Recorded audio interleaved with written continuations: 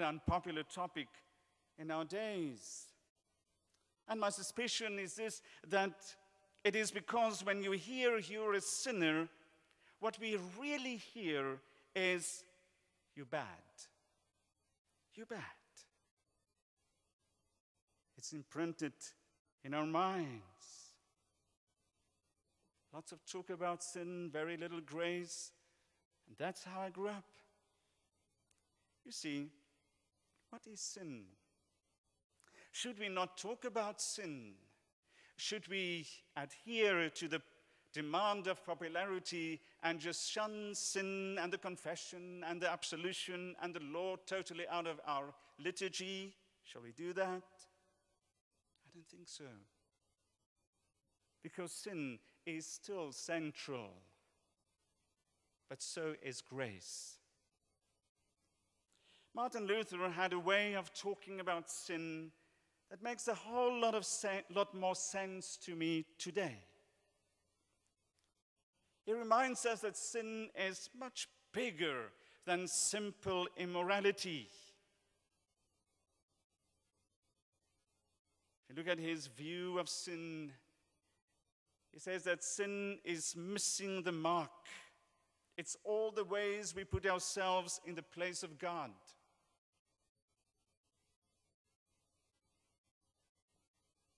Can encapsulate sin and the law by saying it's all the shoots in our life. We should be like this. We should be better. That's how we should be. And there's a whole big gap between our should be self and actually who we are, our real self. There should be self, the Facebook self, and the real self. A huge gap. And usually, no one but us knows just how short we fall from the glory of God. We know. And in those moments alone, when, we, when again we are beating ourselves up or trying to deny it, or again making promises of self improvement, in those solitary moments, we know we fall short of the glory of God.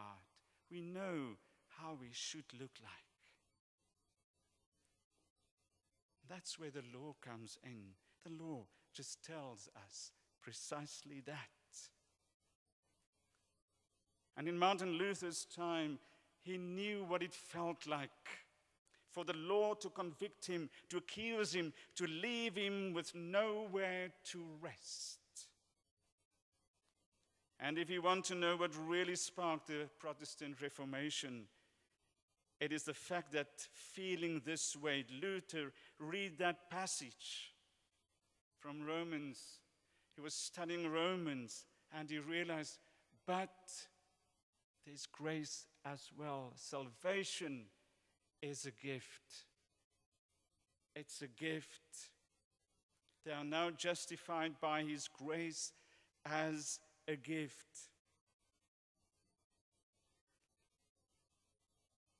Let's look at the gospel. You see, he believed it to be true, and because he believed that God's grace is a gift, he no longer accepted the church, but the church had so long sold off that you receive by works. There are three words that I want us to look at. The first word is if, three prepositions. If. The next word is because. And the next word is therefore.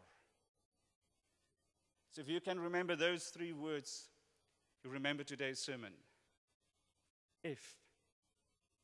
You see, I grew up in an environment where the gospel was permeated by the little preposition if. The if then proposition. If you follow all the rules in the Bible, God then will love you and you'll be happy. If you live up to that standard, then God will approve. There was always this standard. If you achieve that, those blessings are for you.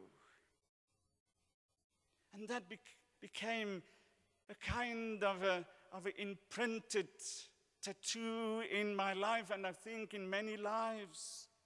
If you lose 10 pounds, you will be worthy to be loved. If you get a facelift, people will love you more. If you get those marks, people will think better of you. If, if, and if. The rule of if and then leads to pride and despair. Pride, on the one hand, if I do achieve those things, wow, I'm so proud of it. If I don't, I despair. When fulfilling the shoulds is the only thing that determines our worthiness, we are either prideful about our ability to follow the rules compared to others, or we despair at our inability to perfectly do anything. Either way, we're in bondage. That's why the gospel is different. The gospel is not an if gospel. The gospel is a because gospel. Because, because, because. Because God is our creator, and because we rebel against the idea of being created beings and insist on trying to be God for ourselves. And because God, because God will not play by our rules. And because in the fullness of time, when God had had quite enough of it all. He became human in Jesus Christ to show us who he really is. Because when God came to his own and we receive him not, and because God would not be deterred, he went so far as to hang from a cross we build and did not e- and we did not even lift a finger to condemn it. He said, Forgive them, they know not what they do. Because Jesus defeated even death and the grave and he rose on the third day, and because we all have sinned and fall short of the glory of God, and that none of our success guarantee this, and none of our failures exclude this, because God loves his broken creation, you and me because God came to save and not to judge. And this is the third word. Therefore, therefore, you are saved by grace. It's a gift, not by the works of the law. Not an if, but because God loved us so much Therefore,